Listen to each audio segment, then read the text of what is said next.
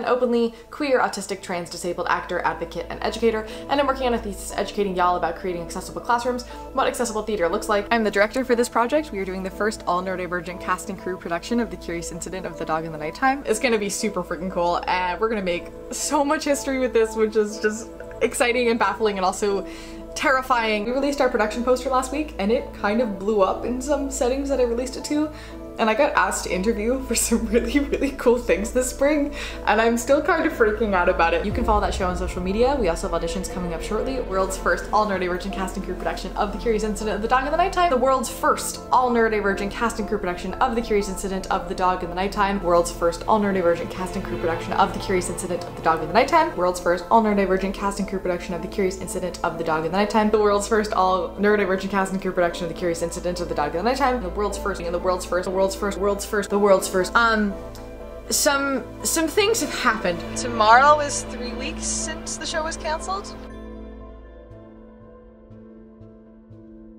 There's no clear answer as to how to even begin to tell this story. Honestly, we went back and forth for months as to whether we would actually follow through and tell the rest of it.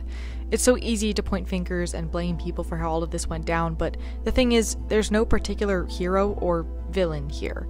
This is a story of what institutionalized ableism looks like, what happens when the arts are underfunded, what happens when expectations are set but without a willingness to actually do the work to follow through.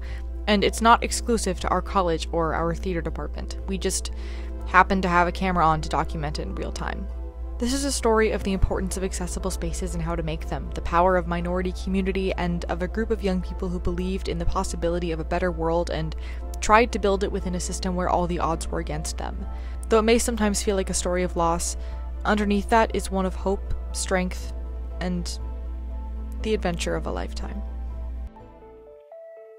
a uh, purposefully all neurodivergent cast and crew production of something is fairly, as far as we can tell from research, never been done before. I don't know if that's, it, maybe it has. I think it, it definitely has, but not everybody knew they're neurodivergent, you know? But anyway, so because this has never really been done before, specifically, uh, there's not a lot of resources on how to make accessible theater education for higher ed, typically accessible theater education resources you see are for middle school and elementary school. We're trying to make a sort of guidebook, I guess, on how we did it and what we learned and what we still have questions about. It's gonna be messy, we've acknowledged that, and that's gonna be perfect. We're calling it a safe space because that's just what in our brains we think of, right? But when you think of safe space, we often think of something that is super cushiony and that, you know, you can't push boundaries in a safe space. And so we're creating what's a liberated space in the uh, discussions of educational reform. It's called a liberated space, um, which basically it means that it is a safe space in the sense that you can talk about anything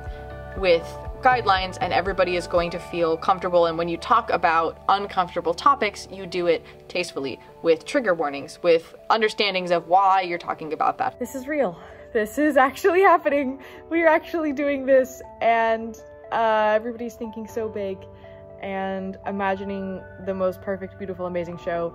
And as a director, that is terrifying because I don't know how we're gonna be able to do it, but I know that we are. And I I don't even have a mental image of how cool it's gonna be, but I know that it's gonna be really cool and that I trust this team with my life. Um, and yeah, so anyway, we are all off to winter break from now. We're really excited to hit the ground running in uh, end of January, early February. And uh, we got we got quite the show for you. And I'm really excited about it. So, yeah.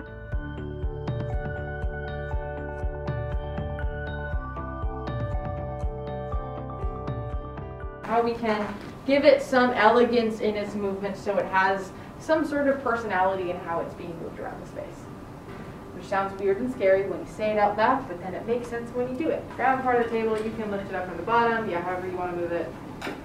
And you can also shift hands as it moves as well. And make sure not to impale anybody. You also may notice that we've had a lot of personnel changes um, because the new semester happened and everybody went, oh, my schedule is different than I thought. And we had to uh, move a lot of roles around and we had to add a bunch of people to the project, which is wonderful and I'm so happy to have them. And we miss the people that we don't have anymore, but um, it's definitely been a learning curve this semester. You're too old to be a policeman.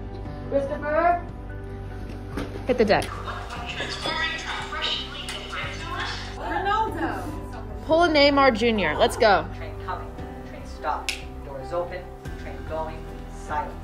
Right now we are in a space in the psychology building. And also he bangs his chin and screams a lot. I know how he feels. Do we want to have another ensemble member try to pretend like there is something?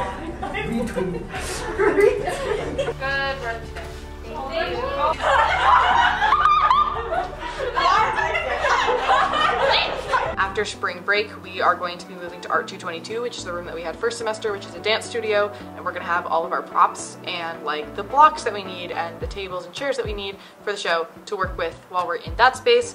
We're gonna be there for two weeks, and then we move to the main stage theater where we're gonna start tech rehearsals. And go to one foot. Your mother, before she died, was very good friends with Mr. Shears. They stay in my block, whatever. Ace, what are you doing?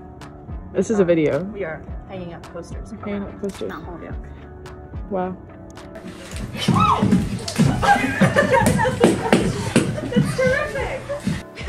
Not like that, like slide them on the floor. Like a So you want Mr. like you want I to wanted see to zoom into my hand. I think Mr. Shears probably killed Wellington. I will not have that man's name mentioned in my home. for eh? one second. Hey. Eh? You're Canadian. I am Canadian. Sydney, what are we doing? Watching a bad movie? And what are we doing while we're doing Oh. that?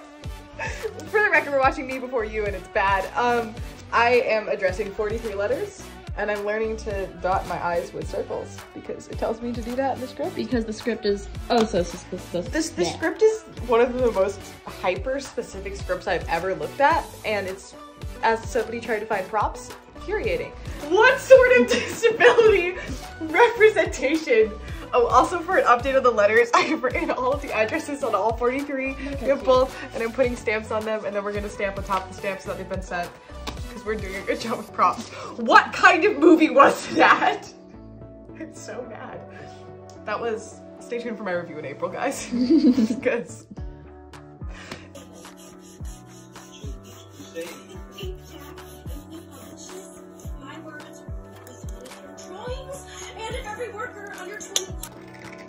you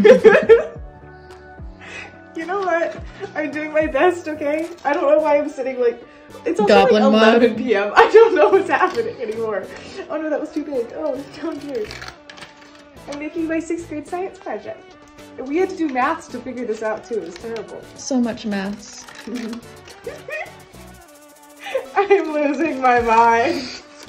It's been like six hours since we started.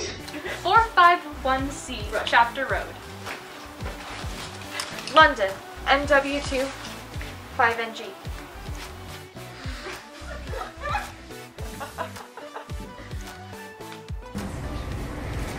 He's two months old.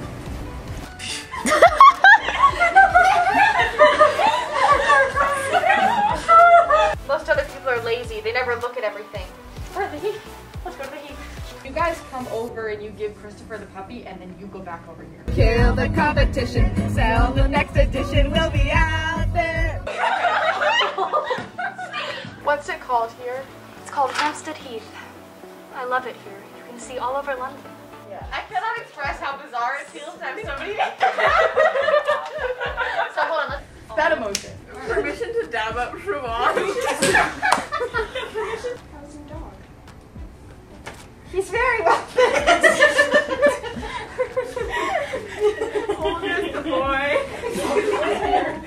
We are carrying props down to the black box for storage, Here we go. also known as Hadestowning, Also, why is it Hadestowning? because that is what the entirety of the show is, is carrying chairs and moving them around. Correct. And we are, That is arguably also Hamiltoning, though. yes, but Hadestown is much closer to our hearts. That's our pile over there.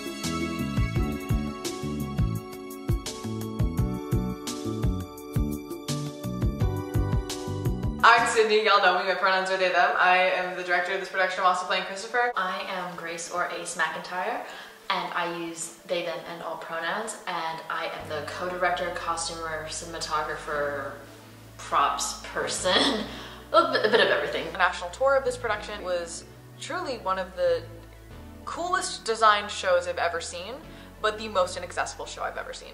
Um, because they showed the inside of, of Christopher's brain um, as like how big and loud and overwhelming the world is to an autistic person by doing it entirely with strobe lights, with moving lights, with super loud sound design, um, super overwhelming, so much going on. And I was sick for just like a full week afterwards with a really, really bad migraine because of the experience of seeing that show, because of how inaccessible it was. When I was first year in college, I finally got my autism diagnosis, which is really exciting.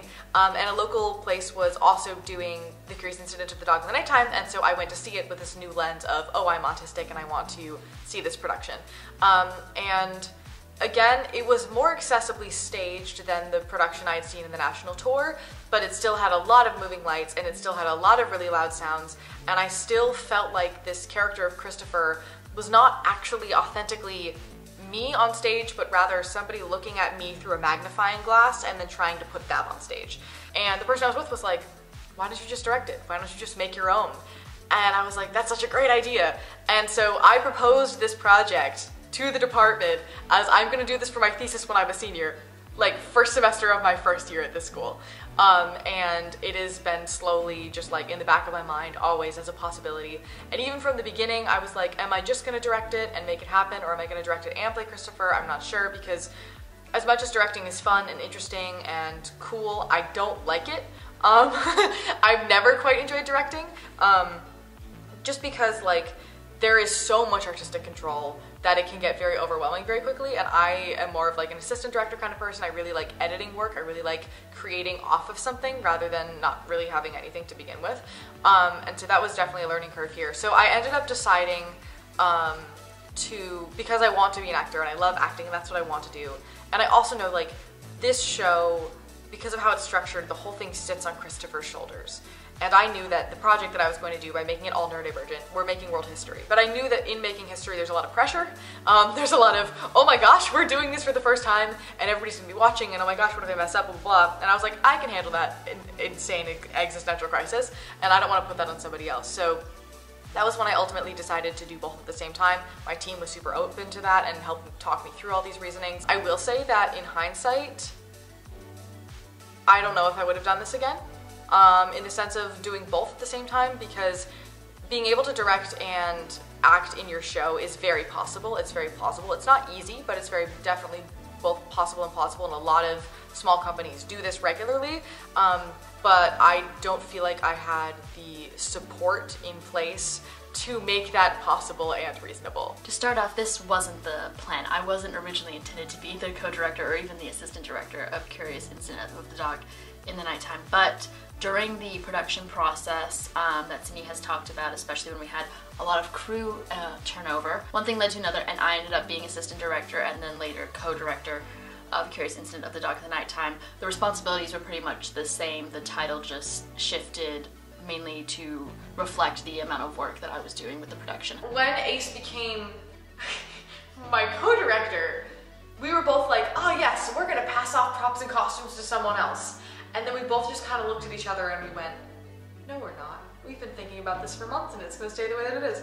And so we put ourselves in a very silly situation in which we have to, you're laughing at me, we had to somehow magically uh, direct the show and uh, stage the show, and I had to be Christopher, and also we've had to construct all of the props and find and construct all of the costumes, which has been an absolute adventure. We had a lot of people join the project who don't know a lot about acting, or don't know a lot about design, or don't know a lot about these things, but were ready to learn and figured it out. Just like put in that dedication, put in that energy. Um, one pattern we did notice, and you will also notice this if you go through our older videos, is that we've had a lot of turnover on, on, our team. We have a lot of new people that were not here for semester. In having an all disabled show, so like we're all neurodivergent, neurodiversity is a section of disability, so we're all disabled here. Um, and a lot of us are also physically disabled as well. In doing that, we are working with a very specific subsection of the population. And we are working with a subsection of the population that is fundamentally let down by the academic system. Again, not trying to like drag this college through the mud. All colleges are like this. This is universal, um, and everybody's you know trying the best that they can. But because of this, we've seen met so many wonderful, wonderful, wonderful people who are just rays of sunshine, who are so excited to create art, who are so excited to join in on this project, and we've had that happen continuously. And then uh, once they start really getting into their classes and they start getting discriminated against by professors or start having to do other things, they have to go into survival mode. And in order to survive survival mode, they end up having to drop all the things that they love. And so we have had so many people be on our team for weeks at a time and leave, or even just a couple days and have to leave. And every single time it has been like a sitting down sobbing conversation of I really really want to do this but I just can't and I need to get by and I'm sorry and I'm sad about it and whatever. And that has been really difficult for us as directors to watch all these wonderful people that we enjoy working with that we love having around have to quit because they don't have the proper supports available. Um, so like the activism that began this project was how can we make the classroom more accessible for people? And it is kind of morphed into a wow, the academic system is an experience. It's not just that we want to have props and costumes that are accurate to the script, cohesive for a story, and work with things like color theory, um, what story are we telling and how does color relate to that, but also what is and isn't accessible. And this can be for a wide variety of things. This can be for things like textures because a lot of us, I think almost all of us, have um, texture sensitivities. If you're wearing something that's scratchy, if you're wearing something that's uncomfortable, if you're wearing something that doesn't make you feel good, that's like physically not comfortable, you can't focus and you can't think and your brain goes all fuzzy and then it goes blank, which is not helpful for people on stage. So we had to figure out how can we find costumes that fit this character, that fit this color palette, that fit this body, that are not from the 1970s and gross, um, that also are sensory friendly. How can we find things that are soft, which ended up being a, a, very difficult thing to find. I think had we had a big budget like most theater companies do, it wouldn't have been a problem because we could have just purchased things, which is what we did for the uh, jumpsuits that we're using for the ensemble for most of the production. Um, but it was definitely difficult to try to find things and be like, oh, this isn't soft actually, but it looks really good. How do we want to change it? Do we need to hem this? Do we need to take out the tags? How can we make it more comfortable, which has been interesting. There's also the accessibility of we have a lot of trans people in our production just because the trans neurodivergent overlap. Like um, planning, okay, how can we cover up binders or do you want your binder showing? How can we, uh, are you gonna wear a packer? Are you not? Um, how can we cover tattoos and those kinds of things that are also accessibility measures as well. If we found the perfect piece that we think, oh yes, this fits and it is perfect for the character, but it um, affects the actor negatively from a sensory perspective, then it's out, no questions about it. If it's something that we cannot alter any way to fix that problem, then it's out. The other like struggle, I guess, is that if you've never worked costumes before, um, traditionally when you work in a costume closet, your costume closet is going to have approximately zero modern things and approximately 100 million things that are from the 1960s and 70s because most costume closet things are donations that people give to places when they clean out their attic one day. And so we're trying to figure out how to make this thing look modern and fit this aesthetic that we want, um, but at the same time use what we already have because we didn't have a very big budget for this project, um, which is definitely an adventure. We also, Ace and I, one morning, I don't know if we have footage of this, but we went around, our school has free bins in every single dorm where people can just get rid of things they don't want anymore. And we went through every single free bin on the entire campus looking for costumes. And we got like half of our costumes from the free bins. Costuming for Christopher was really, really fun because we decided that we wanted Christopher to have a different outfit for every night. And so we had we started with this long list of ideas and then we narrowed them down. We combined some and then we fig figured out our favorites and then we ended up with our ideas. We have like a punk butch version of Christopher, which is like a lightened version because he's also 15 years old, so we couldn't make it too like aggressively punk butch. Um, but like that one, um, we have a cottage core version where we're like making a star themed corset, which is really cute. Um, we have one that's more in the Gen Z fashion vibes, um, and then we have uh, another version that's more just like gender bendy, um, like button up shirt and, and pants situation. And so, and we also like are doing one run just for ourselves with the like original traditional one, just to have just to have that in our souls as well. Um, but that has been a really interesting process in how can we find all these costumes? How can we make sure that every single costume we pick also all works with the ensemble also all works with everything else that we've picked? Um, and it's going to be very interesting to step into this role every single night in a completely different outfit because costumes very much create the character in the sense of physicality and a sense of how you move and how you exist. The process of coming up with costumes for this one has been really interesting because it's a modern piece, so we could literally just be like, hey everybody, come do the show in your street clothes, but we chose to deliberately not to do that um, because Christopher is very particular about colors. Um, he talks a lot in the show about how he really hates the color yellow and he really hates the color brown and he really loves the color red and metal color, which metal color is arguably very much brown and yellow and not a color anyway. But anyway, those are the colors that he likes and the colors that he doesn't like. And so in creating a color palette for this show, we're like, okay, this character does not match with Christopher, so we're gonna have it in those colors that he doesn't like. And we tried to figure those things out. While we are seeing Christopher's story play out, we are also seeing Siobhan read this story. We are seeing this being put into a play. So you could think about it in a way that we are also reading this from Christopher's mind. So in places where he is uncomfortable, he might associate um, things that he doesn't like with that. So we, or if Christopher was casting for this, he'd be like, I, this was a scene where I was unhappy, so I'm gonna include things that make me unhappy. For example, yellow and brown.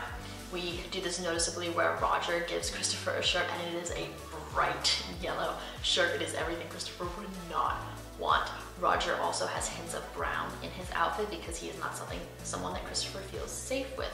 Whereas Judy is someone who doesn't wear, um, as opposed to other ensemble members in London where they have hints, of, they sometimes have hints of brown or yellow.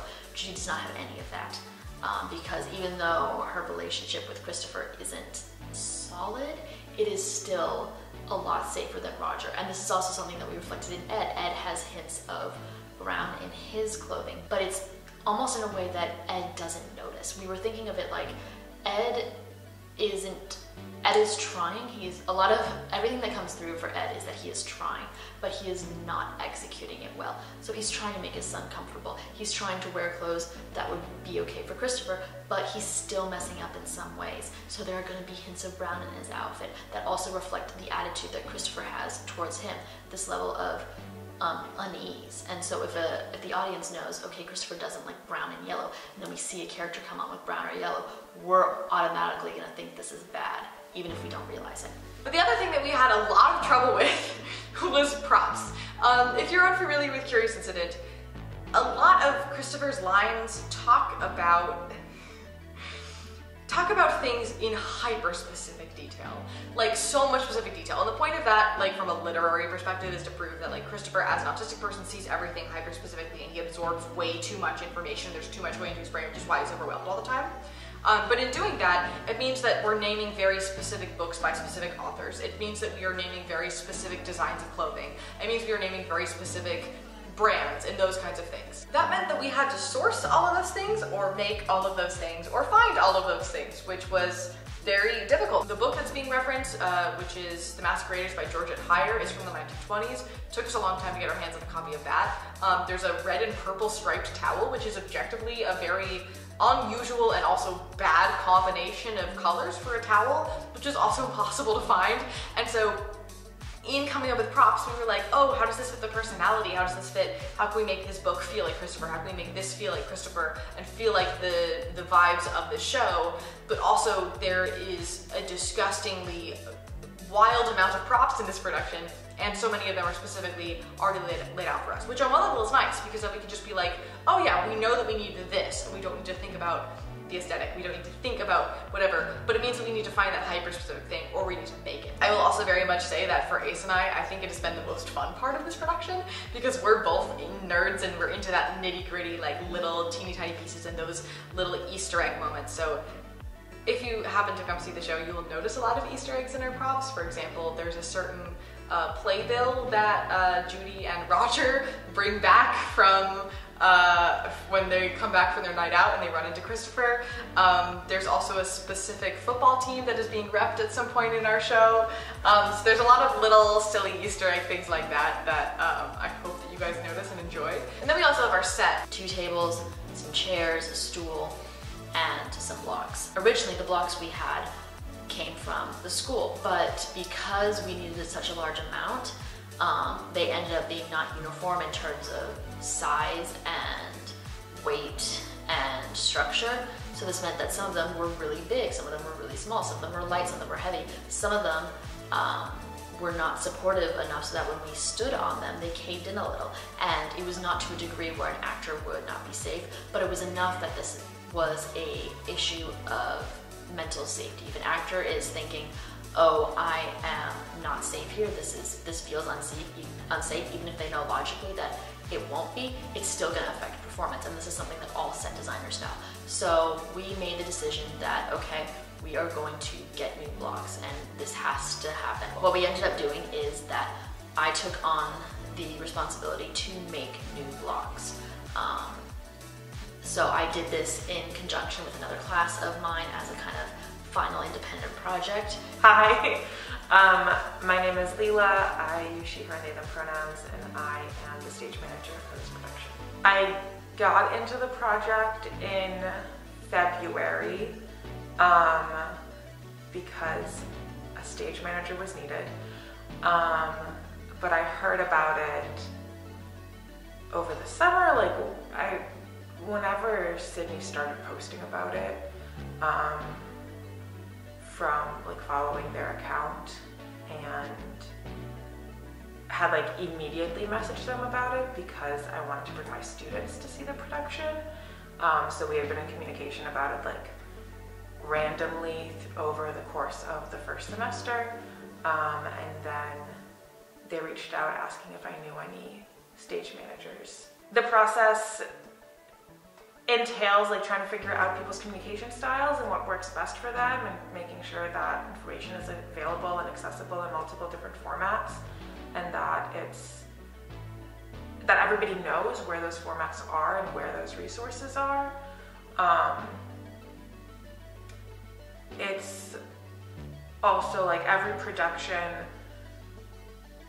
requires different things of its stage managers and there's like slightly different responsibilities and slightly different dynamic with directors and the rest of the production team so figuring what that was like in this specific production that has like a lot of choreography that also still has a lot of technical components um, has been like really fun to, to play around with and to see what like my specific slot is within the production team. Sydney and I were determined to make sure that there were clear boundaries between um, us in terms of what we would allow the other to do and when to say no to things and that has been something that is I think very hard for a lot of neurodivergent people is self-advocacy and so right off the bat we had a conversation about um, we need to hold each other accountable and also if Sydney is delegating something to me and it's something that I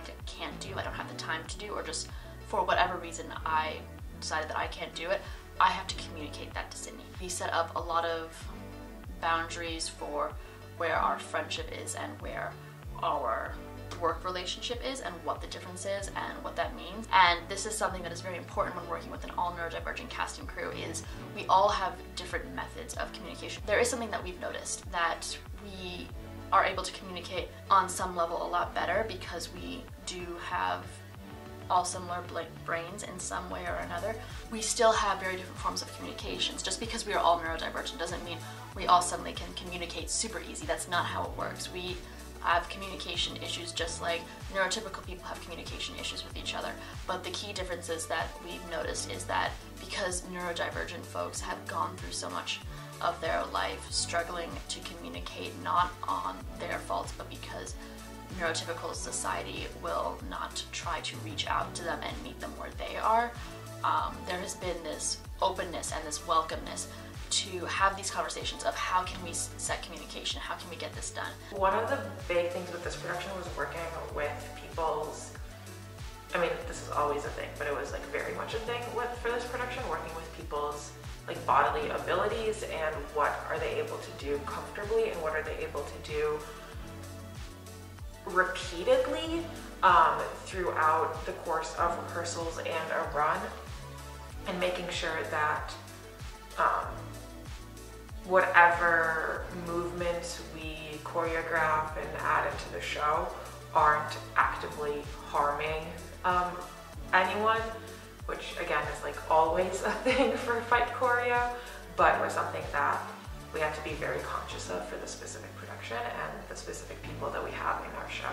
And even like smaller things, like what are the elements that can, or what are the parts of a stage combat scene or just like a bodily reaction to something that can like trigger a response in our actors and what are the ways that we're able to work around that to make sure that we're still keeping the integrity of the scene and keeping what the playwright wants from the scene and their direct like their authorial intent um, but also respecting our actors autonomy and like their agency as individuals and keeping those two things in tandem and creating a really good production without having to minimize or like draw back on one of them.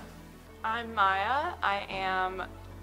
I play track two, which includes Roger and that mainly Roger's the biggest one. The check-ins at the beginning of rehearsals often like get me into the space for acting and like not necessarily shedding the stuff from beforehand, from like before I step into the rehearsal space, but like acknowledging it, which oftentimes in previous theater things, like you leave life outside the door, outside the theater.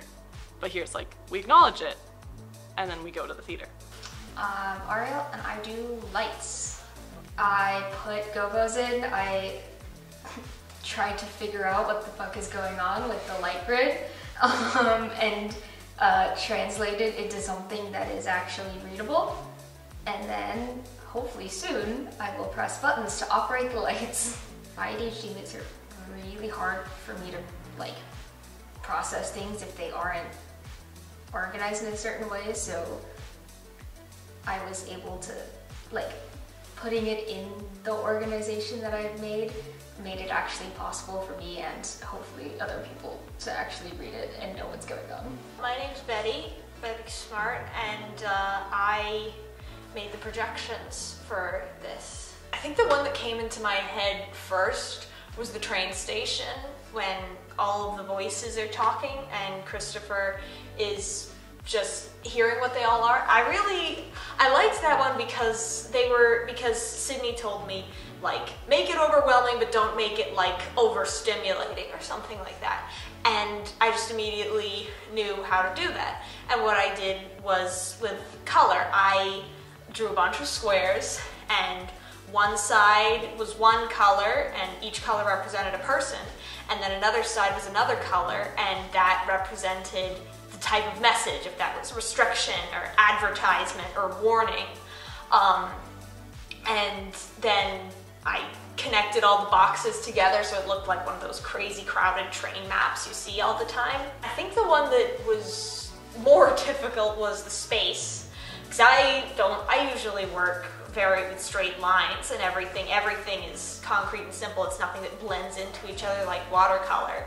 So that was a fun foray into the wilderness for me. How do I, you know, how do we work with all disabled population and make things accessible in a fundamentally inaccessible space? How are we able to do that? How are we able to work with that? That's been the one challenge that has been really taking up a lot of our time and energy. Again, not because it's not possible or that it's not easy. It's just that if I were directing a theater company, completely and I had the whole thing myself and I ran it, this would be easy. This would be just the same amount of work and effort and energy as it would be directing any other production. The thing is, is that we are working within a system where we have to ask permission for everything that we do, and everything that we're doing is against the norms. And so we've been facing a lot of pushback for that. People are like, oh yeah, we should. We do want to make this accessible. We do want to make this possible. And then you start explaining how, and then people are like, oh, but things have always been this way, and we like them this way, and this makes us feel comfortable. We don't want to change anything.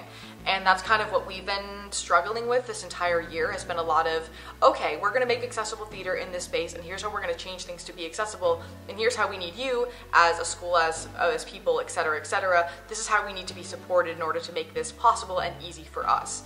Um, and we haven't really gotten that support, um, unfortunately. We can change attitudes um, and we can change various barriers, whatever, but you can't change the fact that a building, the only dressing rooms are down a flight of stairs, right? Like, that's not something that we can fix, but how are we going to change it?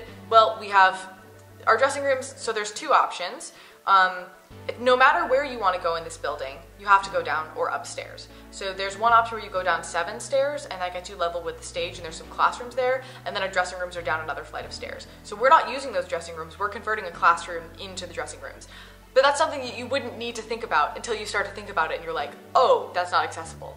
Um, and so there's been a lot of those things. A lot of those things where we're just like, oh yeah, we know that the school has these things to offer, so it's going to be fine, don't worry about it. And then all of a sudden we get to the point where we start using that thing and we're like, whoa, this is not going to work at all. And we need to backpedal, we need to find a new way around this situation to be inclusive, to be accessible, to be safe for our actors and for our team. And that is not saying by any means that disabled people are not hireable, that we are not able to be worked with, that we make things more difficult, because that is not true at all. But we also like deserve basic safety and we, you know, like spending a lot of extra time figure out how can I make myself safe in this unsafe situation is not a good use of our actors' time or energy. It's not a good use of my time or energy as a director. It's not a good use of any of this team's time or energy. So we have been trying to figure out, okay, how can we try to make things as accessible and safe as possible? We didn't get final information about what was happening or where we were getting things or if things were going to be possible until two and a half weeks ago, which is like three and a half weeks before the show opens.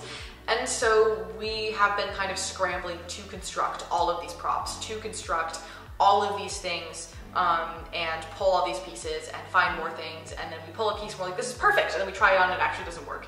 And we've been having that happen significantly, um, which has been a bit of a, a bit of a struggle. Trying to preempt accommodation requests and trying to make sure that the things that could potentially be barriers are immediately being mitigated.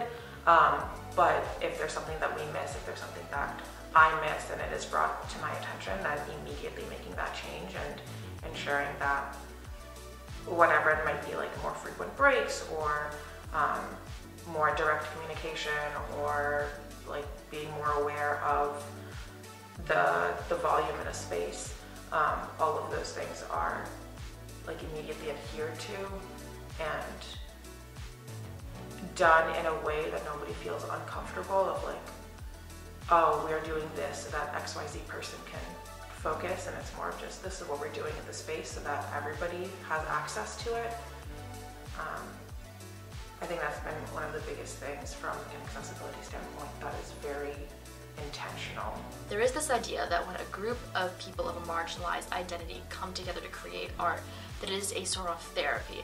If a group of people, for example, of all queer identities come together and do a play, whatever that play might be, there is this idea that it is, on the one hand, them creating art, but it is also some kind of group therapy, this special place that they can come together and be, op- uh, be open and um, support each other no matter what. And that is true to a level, but that is not what we're trying to do here. Just because a group of people of a shared marginalized identity are coming together, that doesn't automatically make it a, a therapy session of sorts, to use quotation marks, because that idea is rooted in this, um, in our case, ableist idea, but it can be applied to sexism, homophobia, racism, transphobia that when a group of marginalized people come together, all they're going to do is share all, share their pain. Um, that they are all going to reach together and cling to each other like a lifeline, and they aren't actually here to make some kind of art. They are just here to establish some kind of found family and create an ongoing therapy session. And that's not what actually happens. There is definitely a level a feeling of safety here. We feel comfortable advocating for ourselves when there is something that we cannot do for whatever reason or don't feel comfortable doing. I, I have noticed that people feel more comfortable and I feel more comfortable saying I can't um, I, I can't or I don't want to do this or this would can there can we change this in some way um, for X, Y, and Z and not only do people feel comfortable stating that they need something else, something to be changed, but they also feel comfortable stating why. And that doesn't open the floodgates for a 30 minute sob story where we get someone's entire life history of what led them up to this point. It has just created this kind of safety where we feel comfortable being ourselves, and that includes setting boundaries and limits, which in turn lets us further make better art. I never really thought about how like theater isn't as accessible to neurodivergent people, and I was excited to figure out like ways to make it more accessible because as I started thinking more about it, I was like, yeah, it's really the way most people do theater is not the best, um, and I it made me realize a lot of instances in my own life where it wasn't great. Um, like especially the rehearsal process, like it's often so compact and so intensive, and then Tech Week is Hell Week. It's called Hell Week for a reason, um, and directors often aren't like acknowledging that there's other things going on in people's lives, but like I feel there's just su- a much deeper layer of understanding with this project that I have not had previously. Accessible theater is very good. Uh, my name is Maria Sipes, and I play Judy, who is Christopher's mom. I think above all else, I've learned to be a lot kinder to myself just from being in a neurodivergent affinity space and kind of seeing that a lot of people have the same struggles as I do and seeing how they cope with it in a healthy way. Recognizing things that I've always wanted for myself but never knew to ask for and seeing how other people are asking for that and the expectation within this space that like those requests are accommodated and that there there's like a base level of yeah like this is what we're going to proceed with going forward is something that I never even thought to ask for of I always presume that like, well, this is a me issue, I'm just gonna deal with it and move on and like it doesn't matter that I go home and like immediately put myself in like a sensory deprivation tank because I'm so overwhelmed. Um, but like that is not the expectation here, that's not the norm here, and that's been knowing that that is something that can happen has been one of the biggest learning experiences, I think when you're talking about accessibility and disability, that's way more important. If we have the time and the ability and the materials to do it, we're doing it. And if we don't, then we have to come up with another solution because we are not going to put someone in a situation where they are being forced to do something that physically hurts them. I think one of the things about theater and art in general is you're always finding new and different ways do it. I mean, look back to the Greeks. Women couldn't perform, and now women are performing. And it used to be that you couldn't have, like, you couldn't record sound. You couldn't have pretty colorful lights to symbolize different moods. It, it used to be a whole different thing, and now it's this whole big industry. So, I mean, I'm happy that this is happening because, like, because, like, who's to say we've already come as far as we can go with theater? Like, people will complain and say, "Oh, you people are always complaining. It's it's you're saying it's never enough." And we're like, "No, we know what enough is. We're just not there yet."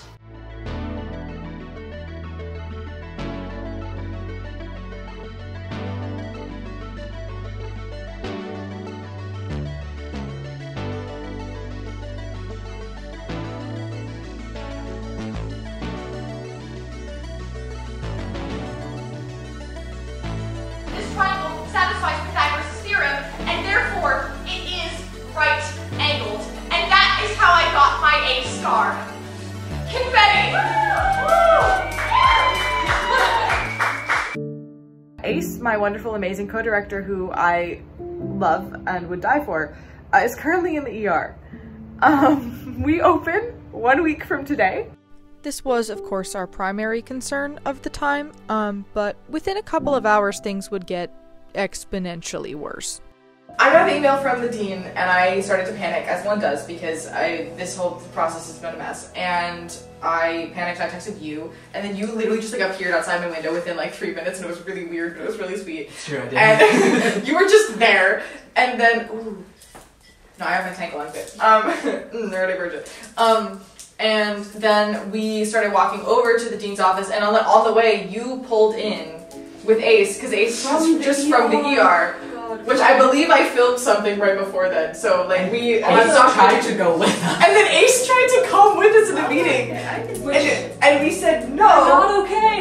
You're still You not look okay. like death. And so then Lee decided to just hop in and join us. That was the only way to get Lucky back up. Which is the only way to get There's Ace still back So now now Lee is in this forever. Yeah. Also.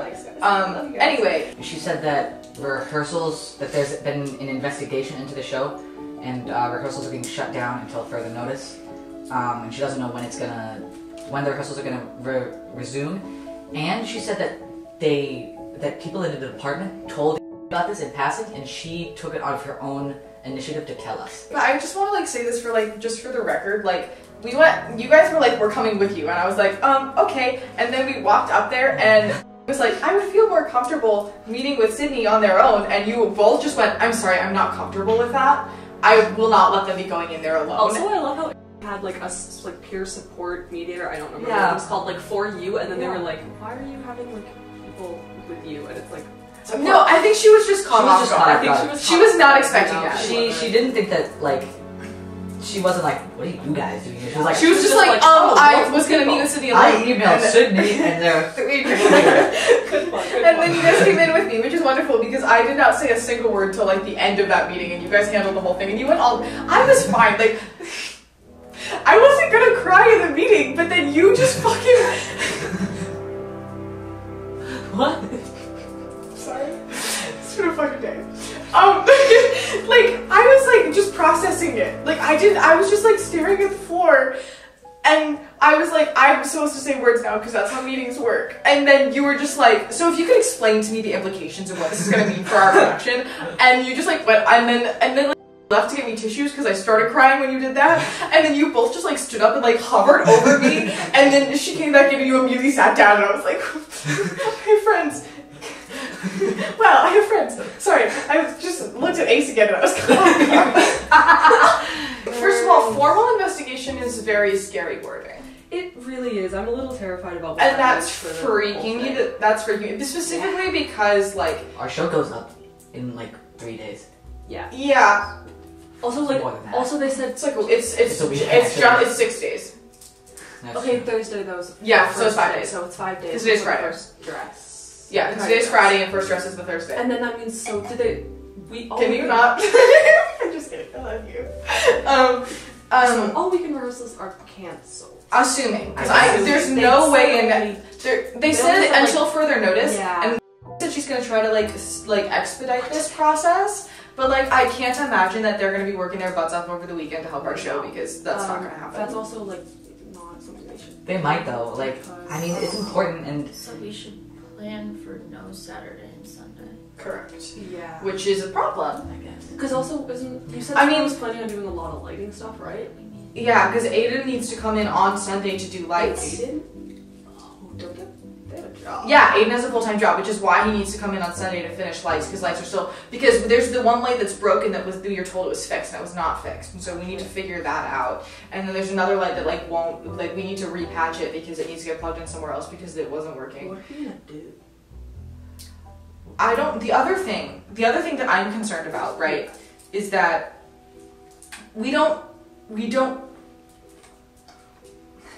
All we know right now is that somebody complained, somebody something to somewhere, and that they're now launching an investigation. And so I'm concerned that when we get back up and running, whenever that's gonna be. I mean, we were gonna have a we were gonna have a dark day on Monday night. So if we just it, a dark day is a day off. Thank So we were gonna have a day off on Monday night. So if we were to uh, cancel that and put a rehearsal that day, we'd only technically miss one rehearsal. but still like that's gonna be after classes and after school and so like also losing these. I, I know that there's like nothing else that can be done, but they've really. This is really. Available. Also, not everybody's available on Monday um, nights. And also like the weekend, the lighting stuff. If people have full time jobs, how the hell are they gonna be able to come in? And like they also said we can't go to Brook. They said that we can't go into work and then we can't like Have do. we- We're not allowed to do any work. Which like we need to label all the costumes. We need to organize all of this stuff. But then there's also the aspect, right? The like We can't tell him. we also can't talk to anybody. Oh god. Because they, they told us we're on, like, we just need to keep this. Yeah, okay. But then like how do we communicate that the cast? What's I, I don't know. How do we go? Hey, by the way, no rehearsals for the weekend. We can't tell you why. Good luck. Don't get anxiety over this, and don't die. Yay. Yeah, I don't know. Um, Can I get you anything so you okay? no, we're just riding the freaking Oh, roller coaster. This isn't the first time something like this has happened, and it's not going to be the last. I'm afraid to say. Um, um, uh, now where precisely in New Zealand would this be right now? I'm sorry. That's not right. I'm sorry. That's not where my brain should be going. I feel like it's after like the protest where they all get like beat up and we're like and like Crutchy- and Crutchy's Crutchy in got the taken away. Crutchy got taken away and they're all like beat up with the bruises. Oh my god, my holy groomer culture is gonna be. Oh, that's gonna. Shit. Fuck. Okay. Deep breath on that. That's not something. That's not a Mal problem. That's not a That's problem. you know what? If if I if if things spread the way that they're gonna spread because of this institution that make me look like an asshole, but it saves the production and the mission of our production, that is worth it to me. Unfortunately. Okay. The now problem. The now problem. The now problem. The now problem is that you look like you're dying. That we need to get Granny home. We're gonna put you to bed. Um, and that's gonna be good. The, the now problem is. Is we're just waiting. We're we're in we're in admin purgatory. If you haven't been a part of all the other sagas that I've been through, let's- admin purgatory. So admin purgatory, as I call it, is that whole thing when you are sitting there, um, and you have like you you know that you're about to have a meeting with somebody about something important, but you're waiting for them to email about that meeting. But they could email you about that meeting and go, "We're meeting in two hours. Drop everything and come." So then you just can't do any work because like if I was gonna if I was gonna sit down and do a reading.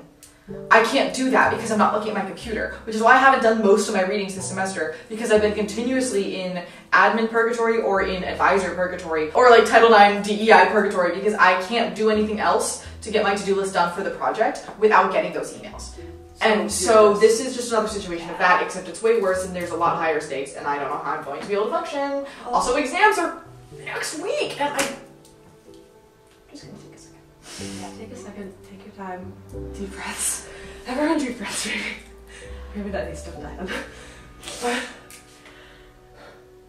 but like,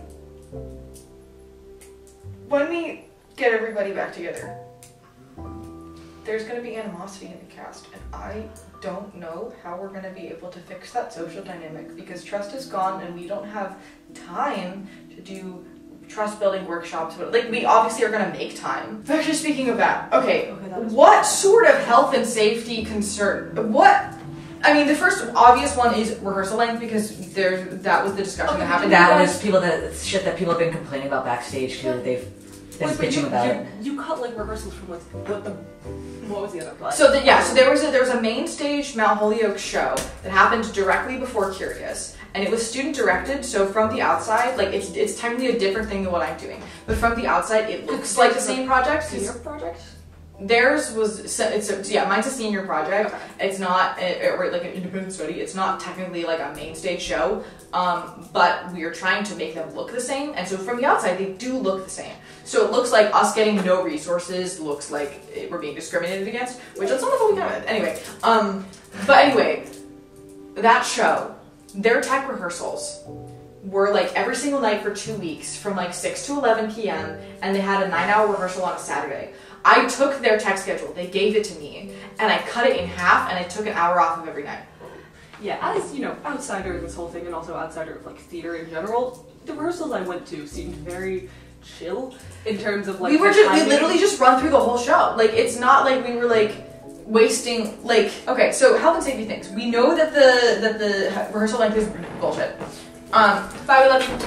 Um the other thing would be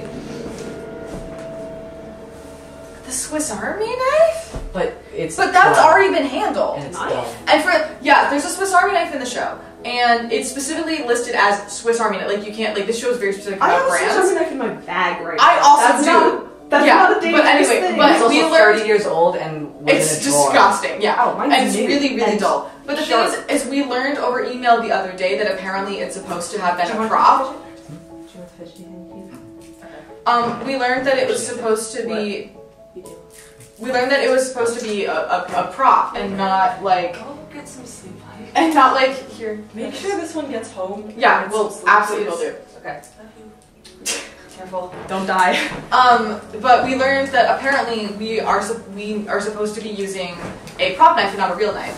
And like I guess that makes sense, Makes but sense, like yeah. I didn't think about that, and nobody told me that, and like it was double tech. and also, like, our advisors were in at the read through in December, and I feel like would have been like, oh, heads up about props. We've been talking to them about props regularly. It's also been in the rehearsal. It's been in the rehearsal videos. which they should be watching because that's what they said they'd. So, but anyway, that aside, that's a whole situation. But we did get an email about it a couple days ago, and then we switched it, and we have the we have a. Uh, uh, Clay printed us, 3D printed us one that's fake that we have, and it's perfect. So we fixed that problem. So that being an allegation makes no sense because that's done. Rehearsal length makes no sense, and frankly, if rehearsal length is the reason, if this got to the FMT, like the professor should have laughed this out of their offices because Yeah. this is how theater works. Is how theater I'm not saying that that's not accept. Like I'm not saying it's not whole thing is accessible. but, Like so tech, tech is not accessible, and I don't know how to fix that, and nobody knows how to fix that. That's not come up in any of my readings at all. And we tried to make it accessible by having less time. And rehearsals are very chill and very reasonable in length, and we have plenty of breaks. Yeah, I need to go. Okay. And- Bye. Love you Bye. guys. Love you. Good luck. Uh, good luck. Don't die. Make sure this one. Ah, shit. Sorry. I just wanted to make sure this one doesn't die. Will do. Keep me updated. I'll talk to you guys. Love you guys. Bye. Bye. um, where was I? You were talking about how the rehearsal Oh. length helped and safety Yeah. makes no sense. And so if okay, so if they if these complaints were brought to the FMT department and the if the FMT department like allowed them like brought them up a further level, then there must be some level of dishonesty about either. The only way that the FMT department could have taken complaints about rehearsal length seriously is if people lied about it. The only the alternative is that these people went to a different section of admin who doesn't know anything about theater, and then they're taking this out of context. Because if you think about how theater works, right, we are on ladders working with light stuff. We are like there's so many because health and safety. You give us an ADA non-compliant building, and you are concerned about health and safety with rehearsal length. I'm sorry, that feels frustrating to me. Um, Especially given all the complaints that you've made throughout this entire I process that spent they the haven't addressed. whole year calling them out. How did this get Only-? So that's why I think they went to somebody else, and I don't know who they went to, but they probably went to somebody pretty high up in admin. How they got a meeting, that I don't know, because I've been trying to do this all year about my complaints about a lot of concerns that I've had with this production and our lack of resources and our lack of support, and I've been ghosted continuously, and I have written proof of that. There could have been there was like a discussion about heat that one day that it was like really hot, but like we told them that they could all like take off their jackets if they needed to, and some people opted to do that, and like it was fine. I love how energetic you guys are about fighting for this. Mm-hmm. I have been fighting for this Yeah. all year. Yeah. And at this point, like, I'll keep pushing, but I need y'all to leave that because I just don't got it in me anymore. Yeah, I, I just, ah, We got that. We can do that. I've been in fight or flight since like January. Yeah. Um, and it's.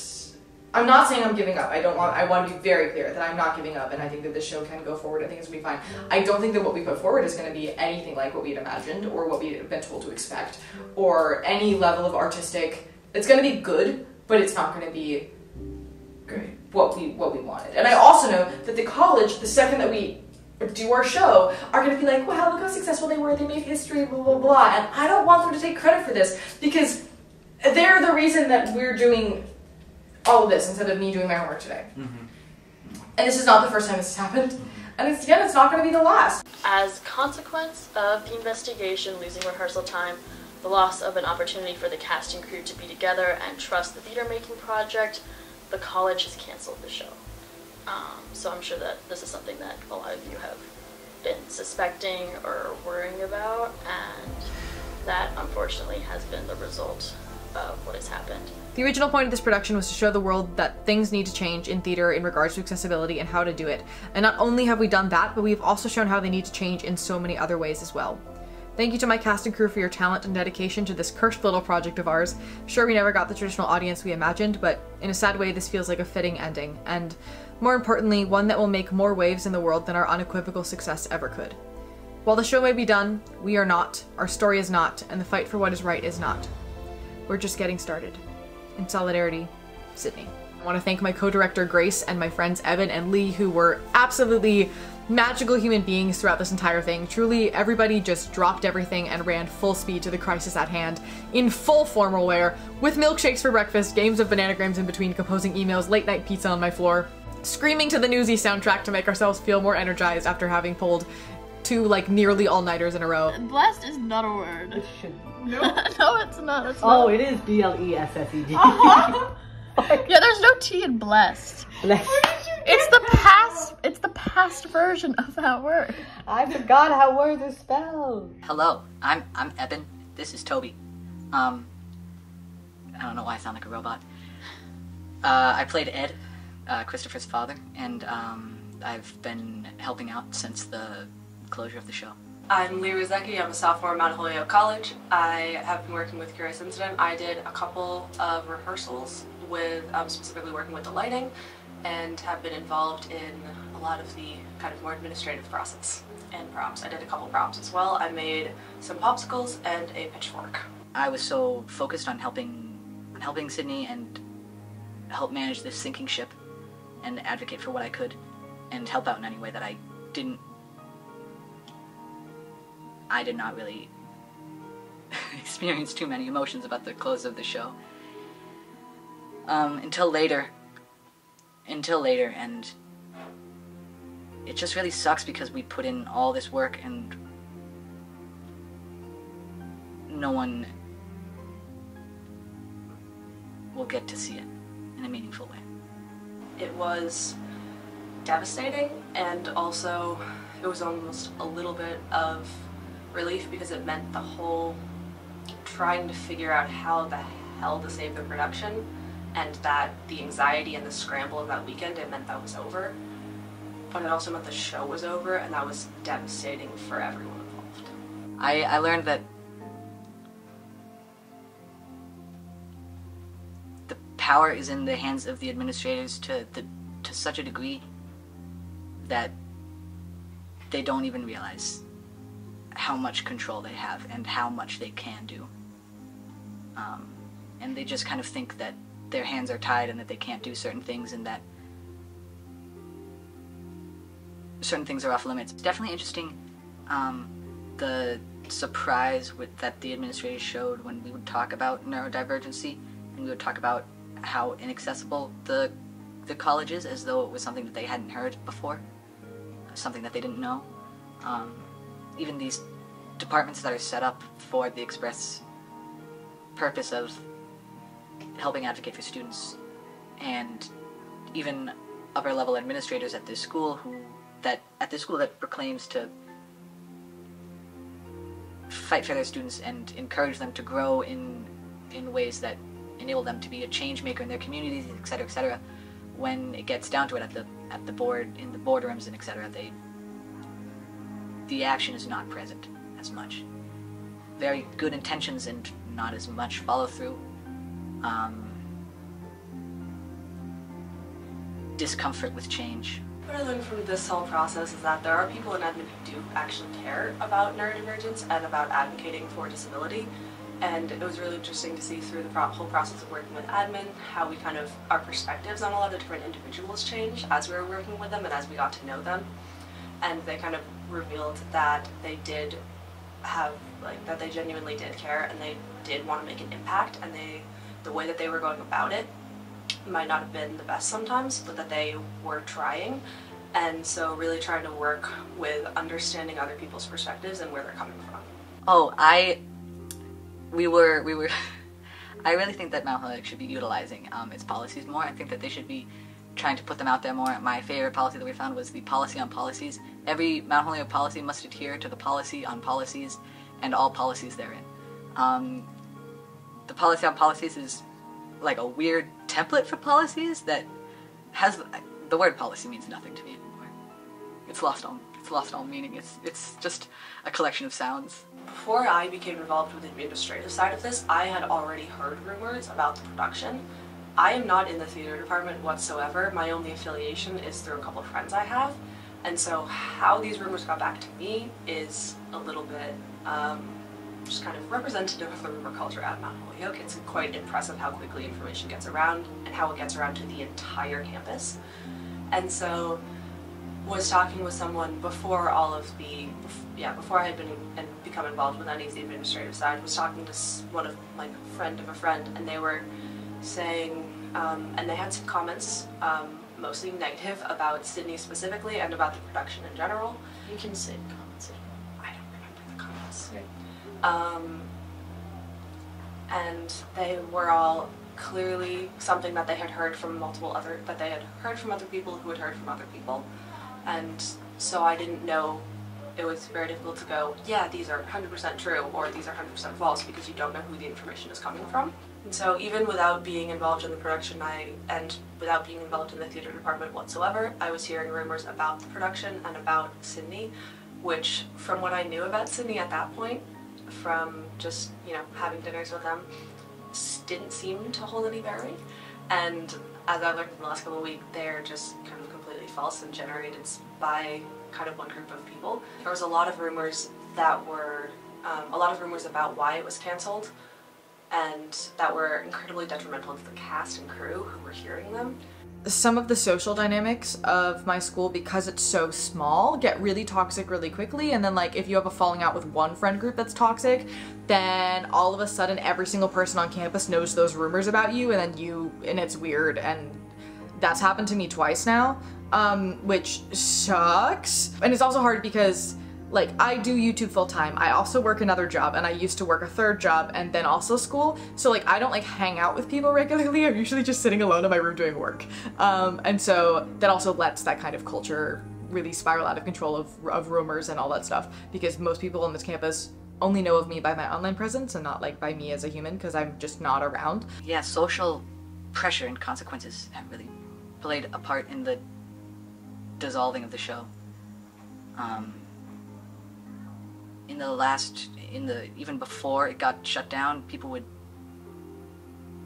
I had uh, a couple of people who would approach me in the dining hall and say, "I heard you're involved with Curious. Are you okay?"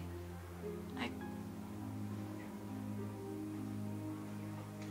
and now that it's over, people are are whispering. People are are looking weirdly at the three of us when we're eating dinner together in the um, in the dining hall. Uh, someone, I heard that someone said that the knife was sharpened and pointed at people in a threatening manner. I heard that Sydney threatened to kill themselves if like people complained about the show. I, I've heard all these ludicrous things and um, and it's really been affecting I am concerned about how it's affecting the legacy of the show and just the way that people are thinking about it because there are all of these lies and rumors and Mount Holyoke. God love us, no one gives a shit about the truth. We just want to gossip. I would like to know about what is going on from their angle because no one ever thinks they're the bad guy. And as much as I as much as I personally have felt like like there are a lot of the social conditions that made this play fall apart have been put together with malintent, um, incompetence, and weaponized incompetence. Uh, I'm sure that that's not what those people feel, and I'm sure that that's not what feels right to them. And I am interested in what in what their side is. I want to know. So the um the the plan of action for this The plan of action for the the plan of evening. action for this evening. Wait, let me let me join this. What are the action items? The action items. I'm in the circle. Action items are, are a thing. Um, Sydney's not even in frame. I'm not in frame. now you are. The action items are a thing, but um, the college didn't agree to them, so. When is this meeting again? We don't have that. That's the next problem. Okay. Okay, so anyway, so we need to explain. We're gonna explain all I'm of guessing the. all of us are gonna be there. Yes, we're gonna explain all of the reasons that we have gotten to this point. Um, I'm worried you're not in frame when I sit down. That's a problem. Who? Eben. like now you now you be that's just Ah. And then we can also in that lore explain to them why they were expecting just one of us walking into that meeting and got so many of us because that is a reflection of how we've been treated. Yeah. Oh yeah. The accessibility. Okay, the first thing that we definitely want them to fix is to talk about the reporting system because the fact that mm-hmm. Like, I understand that DEI is overworked and underpaid, and that's a whole other situation. However, the students don't feel safe or listened to on this campus because they know that there's nothing to report to and are afraid of attaching their name to things because the school is so small. The bias report has one person behind it. There are definitely incidences of bias I've experienced of like you know misgendering, misnaming, uh, like not just of me of other students, and then just like blatant disrespect of accommodations of like all I'll That say, falls under all of it. and it, like all of it falls under it. But I'm like I don't want to overload the system. I'm the reason I haven't is because I'm like these are not complaints that affect any that affect me enough that I want to do anything about it because the system's so overloaded with complaints that are way more pressing. There needs to be something on accessibility, disability services, accommodations. Teachers need to know of disability services. Here's the thing. My workshop explains all of this. Yeah, I know. I know. And my workshop is 90 minutes, and I can expand it to 120. I would like to expand it to 120 personally because I have to cut a bunch of slides. But I, everything that we're asking the faculty to know, I have already taught to the faculty, and I have given them. Mhm. I taught it at my Boom workshop, and I had three different professors go, "Oh my God, do this again, please." And I said, "I will," but I need to have the right people. That's. There was a bunch of people from like Lits, or there's like there's like a postdoc student. There are a lot of people who are from like that aren't like professor professors, but like yeah, I had some professors. people in my. Okay, um, we need to explain. I think part of the disconnect is also professors don't know what the hell is happening on our side, which is an issue across the college. Which again, I explained. Yeah. All of these problems, if we just had the faculty come sit down at my workshop and I explain because I want to sit down at your work. because I I in well. in it you're welcome to.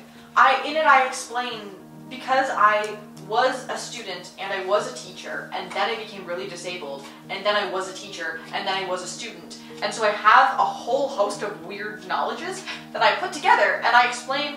I understand that to, as a teacher this feels like this to you. Does it have a presentation of this?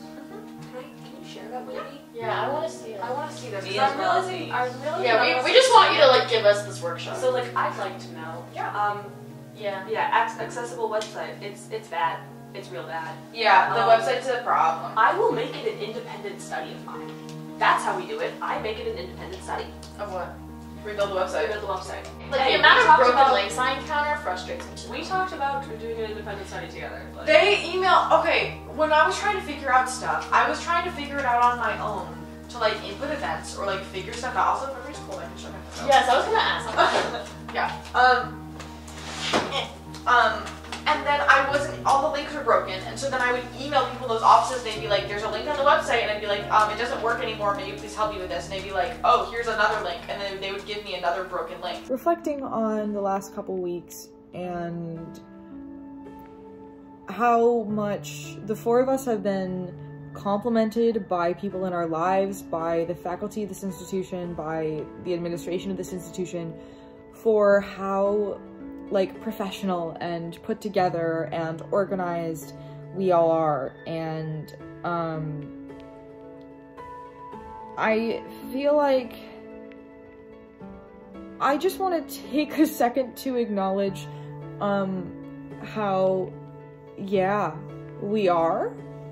Um but that comes at a cost. I have another meeting with um administration tomorrow and I have spent the last 2 hours trying to put together my notes and organize everything and figure out how to talk to people and how to be a human and all of these things and I spent 30 minutes picking out what I was going to wear very strategically. I know that I cannot get anything done tomorrow morning before the meeting, and I will not be able to get anything done tomorrow afternoon after the meeting because I know that I will be so exhausted um, that I will not be able to get things done. And so I am going to be staying up late tonight to finish getting my work done because I don't know how long it's going to take for my energy to come back in order to function again. Um, and I have deadlines to, to meet.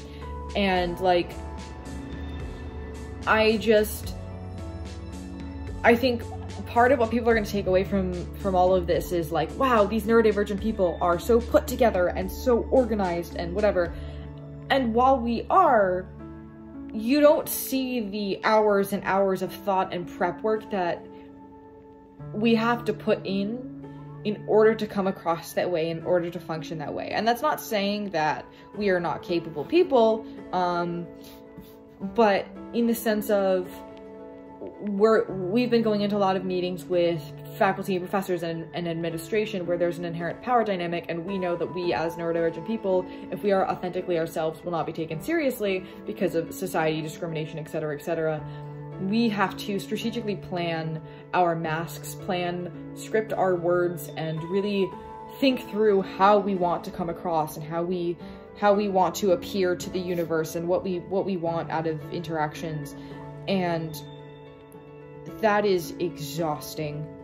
Um it, it both shows our dedication to the work and to wanting to make the world better um and the amount of energy we're, we're willing to put into that. But also the reason i'm acknowledging this is because we need to acknowledge that the systems that we have in place right now are not inclusive and not accessible and force us to take extra hours out of our lives to figure out how to be a specific version of what we assume presentable looks like or not what we assume what we know presentable looks like to um, people in power and we know that if we act a certain way we will be taken seriously. And if we act another way a way that is more inclusive and accessible and safe for us we will not be taken seriously. Even though we have the same things to say no matter how we put ourselves forth. And the amount of exhaustion and effort and anxiety and time that that takes and how much that that takes out of us as as people and how much better activists we would be if we didn't have to spend extra time focusing on these things. And the frustration of having to even be put in this situation in the first place but then also like the pride of like wow i get to be able to do this. I am able to do this and that's really cool. But then at what cost you know? Um so yeah that's just been a thing i've been reflecting upon and i wanted to to have that documented. Doing the right thing sucks sometimes and there's always that level of how much is this time, energy, effort, exhaustion worth it? And is the activist life one that is sustainable? And the answer is no. And yet somehow I can't imagine myself doing anything else and I can't stop going back to it no matter how much I try to take breaks. So there's that.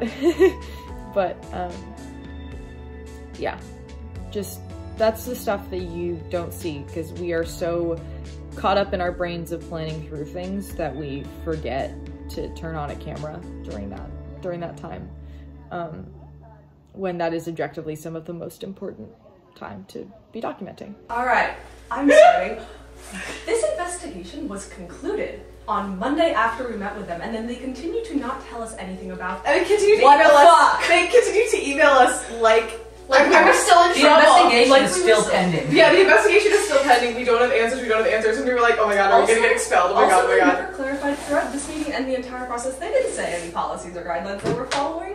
They're not following policies. No, they didn't. But they did also, say- Oh, but they- you pull your window down? Also, I love the clarification. I love the clarification in one of the emails that we are specifically following policies and guidelines, and then in this meeting, knowing we're actually They confirmed that they were not following any policies. The policy on policies failed. policy on policy. No, okay, but like they did say that they concluded in both investigations that we did nothing wrong, and I think that is important. They concluded We that did nothing wrongdoing. wrong. We did nothing wrong. Nothing wrong. There was no collusion. Also, I'm sorry, that was two weeks ago that this was concluded, and they haven't told us. It has been two weeks Yep. that it took for them to tell us, and we have had multiple emails and conversations with them, and it has taken them two full weeks to tell us. Actually, over two full Also, weeks now, I'm sorry- To tell us, hey, your investigation was concluded. By the way, Cindy stop and I are- panicking about your careers and your life. and Sydney your- can graduate and Ace is in trouble. it Like, took you two weeks to say that? Wow, this is also, for the lovely camera, this is finals week. Finals start tomorrow. Sydney would like to graduate. My I would like to graduate. Well, he told me I was gonna graduate, so if anybody was gonna get in trouble, it was gonna be this one. Oh, Sorry. Yeah, that's true. That was my thing of like, I know Sydney's gonna be able to graduate, but how is this gonna impact? Okay, so recap meeting- of what happened. I got the Um, notes. We we, we did well. I, I think like we don't need a recap, but we know what uh, we're we're, out of the, we're in the clear. Um, we need that report. We deserve that. We report. deserve if they're that not going report. to tell us, if they they don't they didn't want to tell us mm. they specified. It's not honor code. It's not bias support, and it's not the They other one. that specified that it's not. They specified that it was investigation with a small i. That there was not actual Formal process- Formal processes. processes. While they made it sound throughout this entire like it- situation They, no, they like said at they one were point this was a regarding formal thing. I, well, They I'll said the word, one- but I swear the word formal. And they said that they had to adhere to the call to the specific. They said in one email that they had to adhere to the specific policies and guidelines of the investigation Of the process. college. There Of the- was- But then they just Oh. told us that they don't have to because it's a little investigation. So that's what that was confusing. And that they're part of the process of what they came to in this investigation was developing a process for exactly this kind of thing happening. Yeah. So. By the way, uh, uh, do we want to close that shaker? And now you have to leave that bit into the documentary, otherwise it's going to be a continuity error. You're a continuity error. Thank you. Sometimes backgrounds just change. Here, we can change the angle of it so it just looks This like a doesn't mission. help. Yes, it does. What specifically does she say to you guys as we were, we were walking out that made you want to cry? Oh, it was so sweet. I was like, um, I said something. I, I didn't take notes because we were walking out. Yeah. Um, You said something about like accessible. I was I just look like, forward to working yeah, with you to yeah, create accessible That's change. what I said, and, she she said like me too. Genuinely, no, truly, I do. And like she looked And, like she looked made like eye right contact. looked eye like, contact. I wasn't and like looking at her, stopped really Lee to make sure that Lee was like looking at her to like be like, no, truly. She was like, no, truly. I was I was And it walking. like eye contact, like I was close, I was walking like, out, but I oh. heard it. Oh, okay. Damn. Dead ass. Damn. Okay. So, thesis of the documentary is that the college is actually willing to change. So maybe they don't. So it's not the college's problem; it's the FMT department. Which Yeah. okay, like I when I was talking to the restorative justice guy who led my training, he said that he mentioned that he had um, done two restorative things with theater departments in colleges, and afterwards I I was like, oh, I was just interested. I would love to know more about that because he talked about that, and he said like, yeah. It was very interesting working with them because you expect like arts departments and stuff to be like very open to like this kind of stuff, and the theater department was like one of the most difficult like things on college campuses that I've ever worked with he said it was like the theater departments are so like stuck in their ways and also that like they're so like unopen to criticism. And I that's like, why I do the yes! job that I do. Action item for next year. The FMT department will apparently have a more robust process for these types of projects. Because they have no process. We would like to know what that means. And um, one thing, would love to know what that means. And also, like, there, they also mentioned that there would be more guidelines for advising. Yeah. There's a difference between going, you said hands off, meaning we don't want you in our rehearsals, but we want to talk like behind the scenes. And they, and what they took that to mean was, I'm not going to do anything. And then when they did do things, it was always over micromanaging the pieces that I completely had figured out and ignoring all the bits that I didn't understand. And then and the bits that you asked for help with. And the bits that I asked for help Or with. post happening a critique, like, oh, this thing already happened, but we're going to tell you it was wrong. Yeah, it was always a like three, three weeks later of them being like, well, you shouldn't have done it this way, so that's why it went wrong, blah, blah, blah. And I'm like, well, okay. I asked you about it. I asked you about this a while. And also there's the aspect of like when I when I was trying to find new people for the project after everybody left in Yeah. end of January, they just kept meeting with me being like, How's finding people going? How's finding people going?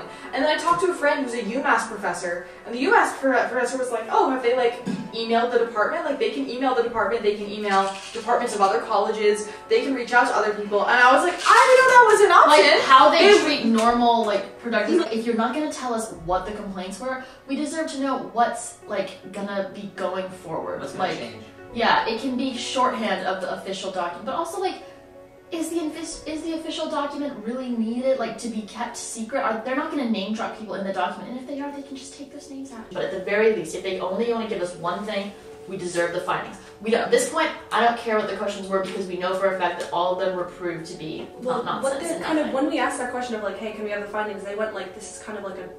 They went with the one we don't want like essentially we don't want you guys to retaliate, and their other response was kind of like we don't um was like this was not an official report, and it kind of made it seem like there were no nothing official and like there weren't official findings from any. This is the problem, is that because it's not official report, because they're not following guidelines, they are free to keep as much information from us as they want. Which is a problem. And I don't think they're doing this out of malice or anything. Like we don't want to tell them anything. No, but they're definitely not. Um, I think that because there's no best. guidelines, their automatic response, because of how academia works, is to go, we're not going to say anything about anything to anyone because the less Keep their cards the, the less information that is known by people, the better. Because that's how academia works, is like as little communication as possible. Also, clarifying thing. Yeah. They said at one point that the meeting, that the investigation had been concluded yesterday, and then they said at another point that it had been con- included Monday. They were talking about Two different- there was two They were different talking about- investigations. Yeah, I was just clarifying. So what they yeah, were talking so about. the first investigation was The health and safety. health and safety Yeah, issues. no, I- I got that. Yeah, so that, I'm just saying it for yeah. camera. So the first Oh, fair. investigation was the health and safety issues that was figured out when we got that email at like 10:41 on that Monday evening.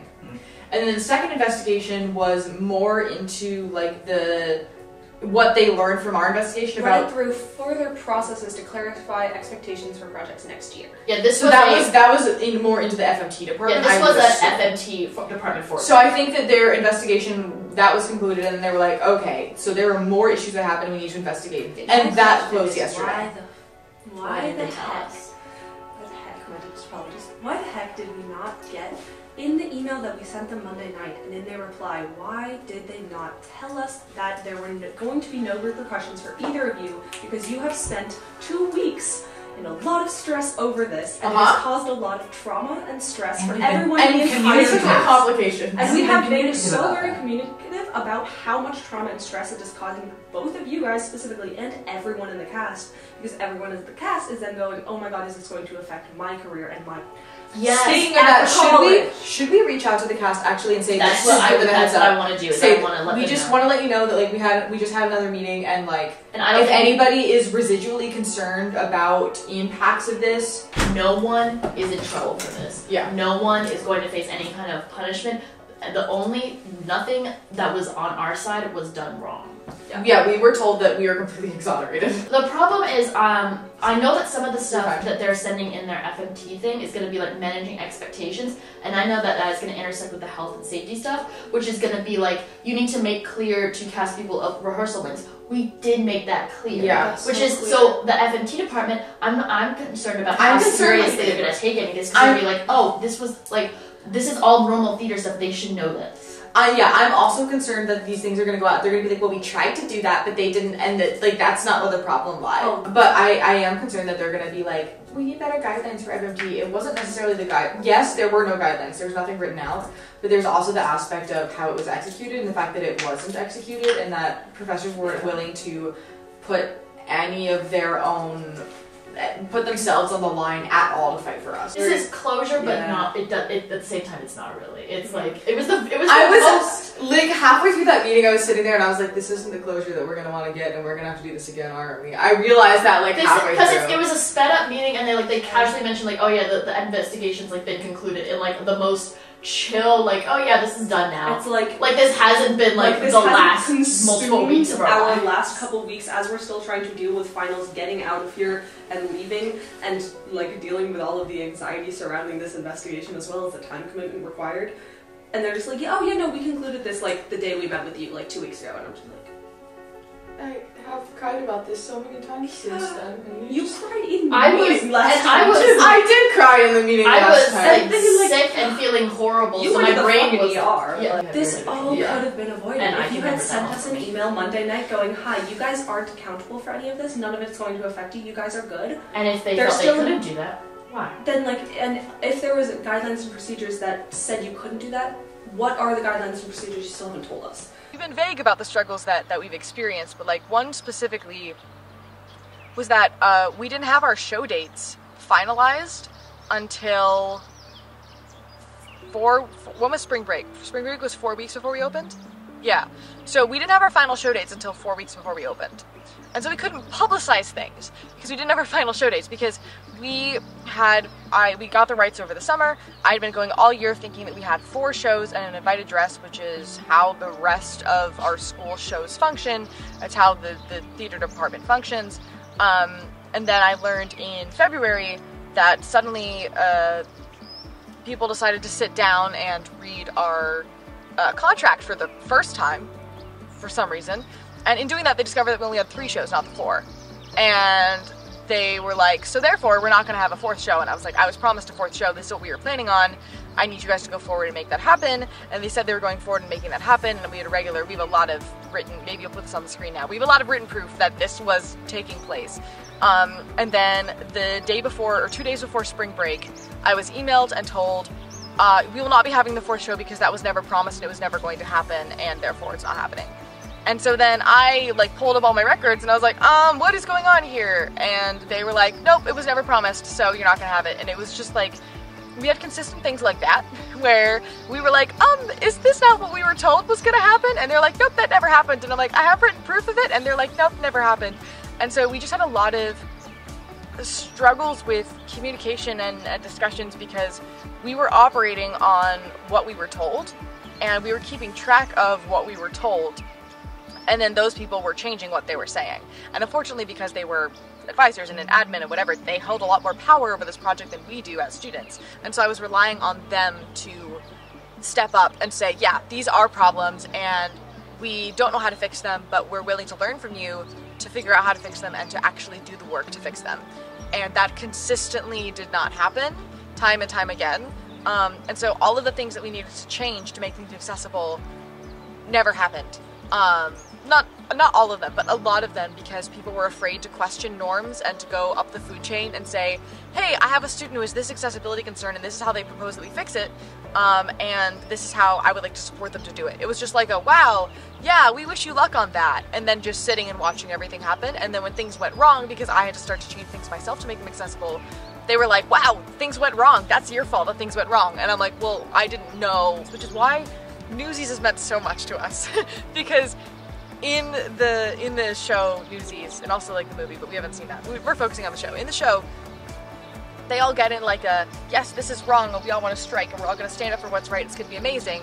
But when times get hard, they all went, oh, I don't actually want to deal with this. It's easier to just run away. And I think that we saw a lot of that in how we were treated by faculty, how we were treated by administration, and also how we were treated by people within the cast and crew as well. Um, and so we had a lot of turnover in people because what we were doing was inherently pushing against systems. And a lot of people were afraid to do that because they were like, oh, but if I push against a system, that's going to affect my career, that's going to affect my whatever. Um, and it's really frustrating because it's like, yes, it is, it might affect your career. However, as people are going to hate as you're pushing right now, we've always pushed in very kind, clear, here's what we need, here's why we need it, here's how you can make it happen, how you can support us. Ways that don't really put somebody out on a limb in the way that like we're, we're not running and yelling at people telling them everything we're doing is wrong. We know you weren't here when the system was built. We know you weren't here when the ada non-compliant building was constructed. We're not blaming you for that system. We're asking you to join with us to be a part of that change making and that is very much we had a bunch of people jump in and say i want to do that and then realize what work that actually took and then decide never mind i don't want to do that or say that like I was manipulating them for my will or whatever, like those kinds of things when like I didn't mean to do that. It was literally like a these are the things that need to get done in order to change the institution to be a better place and it is going to be putting ourselves out on a limb a little bit, but that's what activism takes. And I think we have a culture here at Mount Holyoke where everybody's like, I'm an activist and I care so much about activism because I posted one infographic on my Instagram story, and they don't actually think about the work of activism. Um, and it was definitely that was our biggest our biggest challenge was the amount of support that we had in words and the amount of people that wanted to make this possible. But then when it actually took effort to make that possible all of a sudden that was too scary and it was too much and they didn't want to do it anymore. Um, and that was just consistently a frustration that that we were we were met with throughout this entire process. We kept reaching out to other people to try to get help, being like, "Hey, Dean so and so, like we're overwhelmed. We don't know how to how to handle this." And then uh, that, for some reason, never really helped either. It was just the whole thing was just uh, like. Ah, I don't even know how to explain it. It was, it. was- My mom calls it like a death by a thousand cuts. Like we just had a lot of tiny things that don't matter on their own that all just came together to make this cluster muck of a disaster that ended up finally taking down our show. Do you want to say anything on like the health and safety, or like the fact that like we still haven't like we still haven't gotten the report back or anything like that? Okay, so all these complaints about rehearsal times being long, I don't know, whatever, you can cut this out of the documentary if you want, but it would also would be fun to have an angry spiel. This is how theater fucking works. Like, when I was in high school, even in frickin' high school, we were doing Pippin in my in my theater, we would be in rehearsal until midnight during tech week, and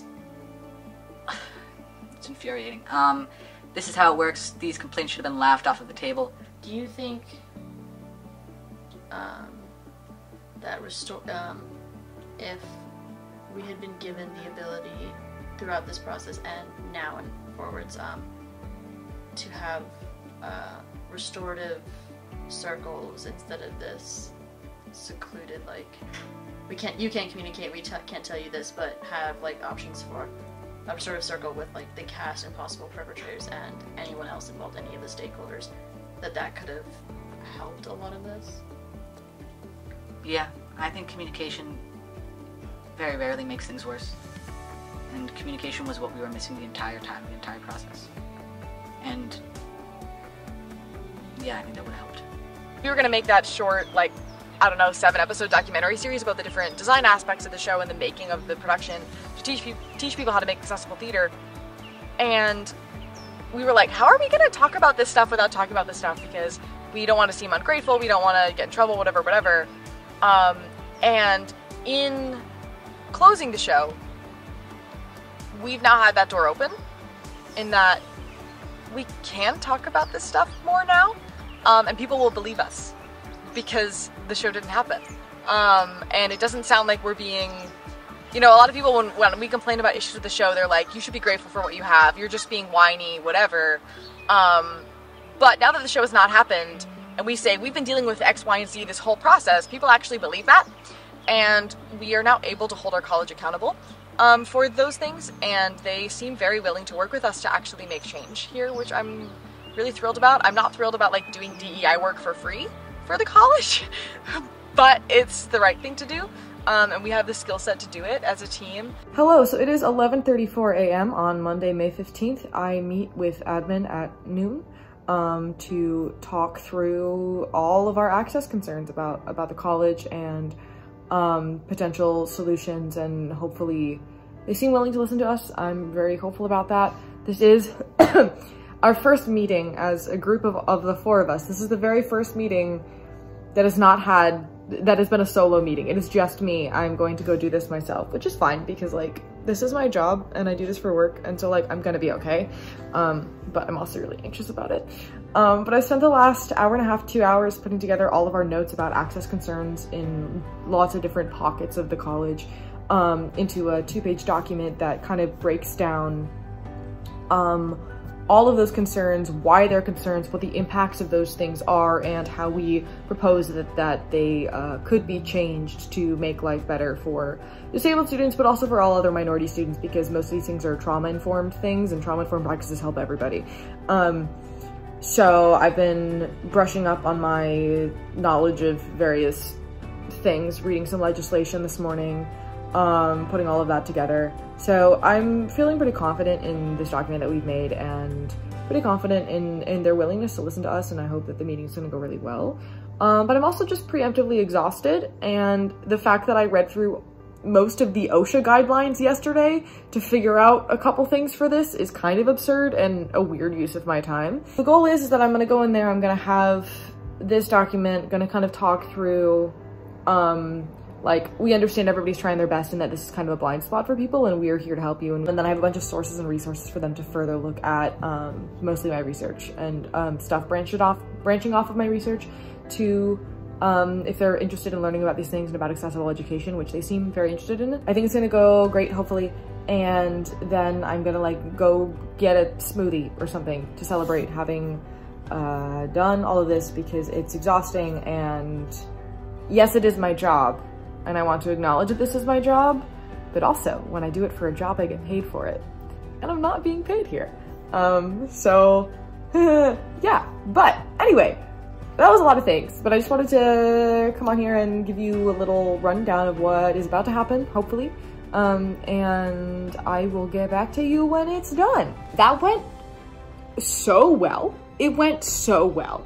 Um, oh my gosh, like, like they're actively going to make changes to be more accessible like tonight. Like they already came up with some things to work on to start changing things immediately and said like, you know, she can't do everything to fix all the things that I brought up, but she knows who to go to about those things to make them happen. And overall, it was just a really safe, healthy conversation. and it was just so wonderful. And she genuinely like listened to what I had to say, which is like a low bar, but still. Um, because we often see people like with institutions get defensive about the institution and say we're trying our best. This shouldn't be this way. Um, it shouldn't be as bad as you're saying it is. But she was very much like yeah no that checks out. Like i wish i'd known about this sooner. I'm doing my best. Like thank you for letting me know. How do you propose that this thing might come across to students or should we go across this way or what do you think with your lived experience? Um, and oh my gosh it was just so incredible and it went so well and i am exhausted but also very energized.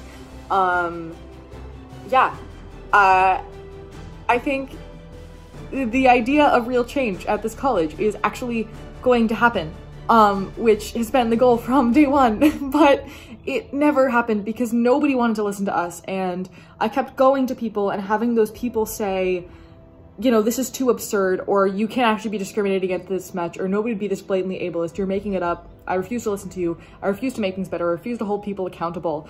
And she was like, no, that checks out and I will hold people accountable and we will be making changes and we will be looking into this to make it a better student experience because it shouldn't have been like this for you. And I have heard that before from a handful of other people at this institution, but not from any of the ones who hold as much power as the people um, person that I met with today. Sorry, I'm being vague because I don't think we're going to use people's names in this uh, in the documentary.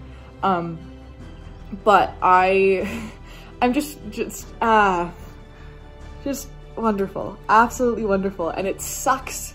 It sucks that this change has, th these conversations and these calls for change have been ignored up until now. In my literal last week ever of being on this campus. Um, but they happened, finally. And maybe I'm just a wishful thinker, but I genuinely I feel like this one worked. I feel like this one, this one's gonna stick. It was really sad and heartbreaking to lose something that we had spent so much time and energy and money and all of this stuff on and this this belief that we could make change and we could create this thing that had never been done before and to have it to, to know that it, it didn't happen kind of makes the the initial gut reaction is like, well, if they couldn't do it, nobody can. Um, and I knew that as soon as we knew that it was gonna, it, the show wasn't gonna happen. I was like, the amount of people who are gonna lose hope in the industry because we failed. I don't know. I just keep thinking about. I hung out with a friend the other day who I haven't seen since like a week before Curious started to fall apart.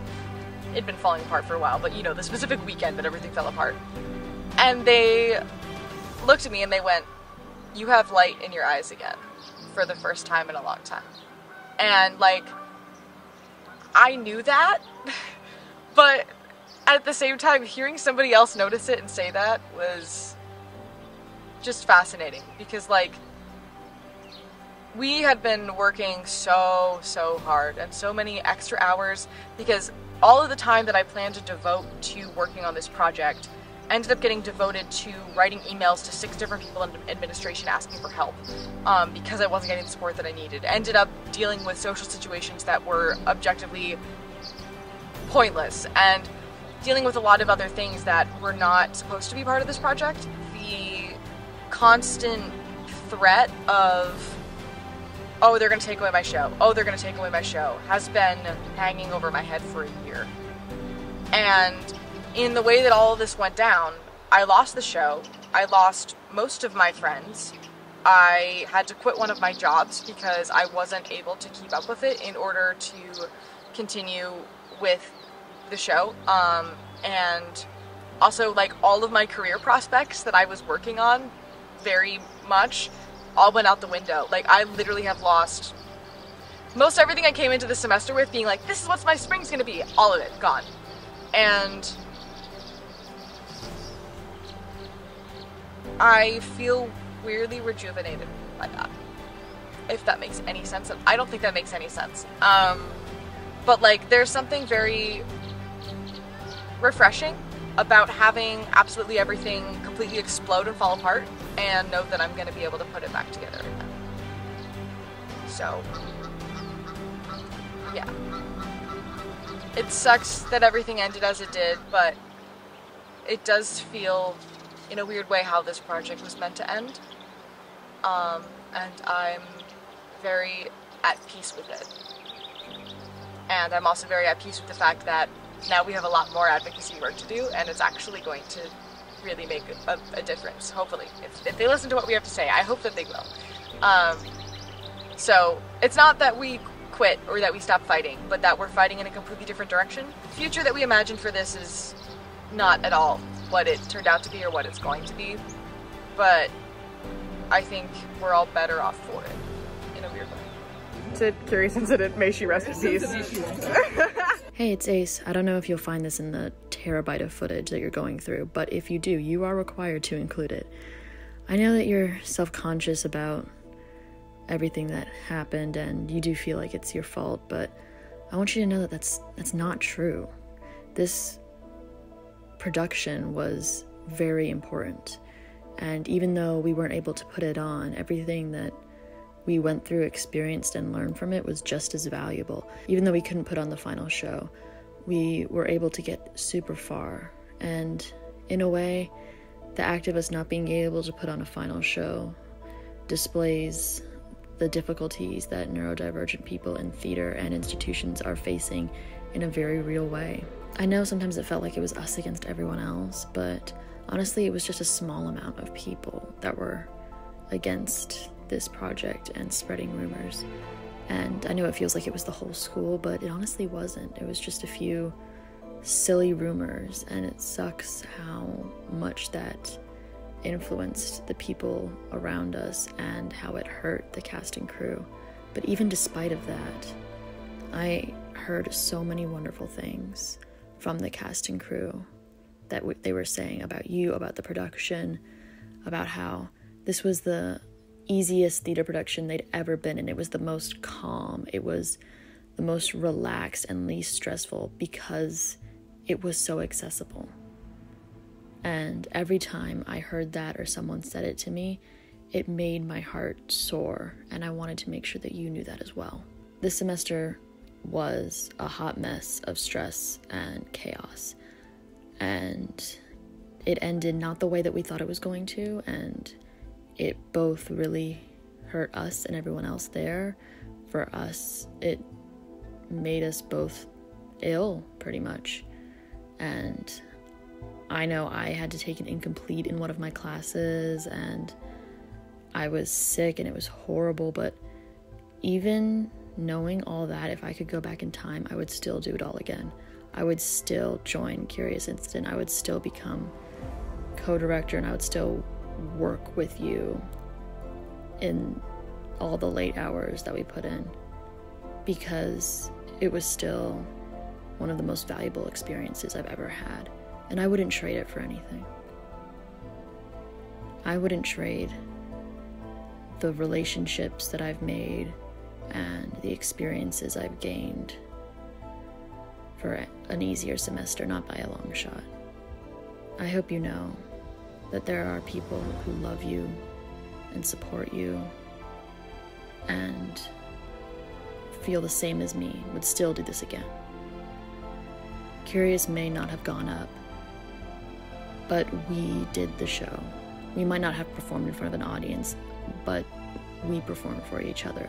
Our last rehearsal was the performance. That was it. We did it. It might not have been in front of people, but we proved that we could do it. And we faced, this project faced so much that if it wasn't this kind of production, if it wasn't set out from the beginning to change theater and show the ableism ingrained in these in kind of institutions, then we wouldn't have faced so much against us. We were set up to fail. And I'm going to say that we didn't fail. We got so far. Just because we didn't go up doesn't mean we failed. And it doesn't mean they won. It doesn't mean we lost. We did it. Curious Incident, in many ways, was a success. I know someday, someone somewhere will either have this idea on their own or will see your videos, see this documentary, and they will go, I want to do this. I want to learn from this. I want to learn from your videos, and I want to attempt this for myself. And maybe they'll be able to do what we couldn't. Maybe they will have broader support. Maybe they won't have as many blockades and they will be able to put up a show. And I think that will make this worth it. I want you to know that I love you and I care about you so much. And no matter what anyone says, we did it. Just for the record, if given the opportunity to do all of this over again with the same outcome that we had, I'd do it in a heartbeat expect.